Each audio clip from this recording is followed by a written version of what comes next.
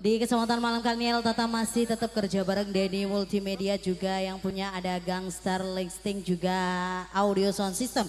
Dan untuk yang perdana bareng-bareng bersama artis-artisnya El Tata, kayak ini kita persembahkan bareng si cantik kita yang punya ada Tomim Safitri.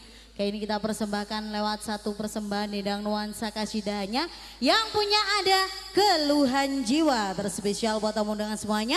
Langsung kita mainkan bareng-bareng bersama El Tata Yahud Kasidanya.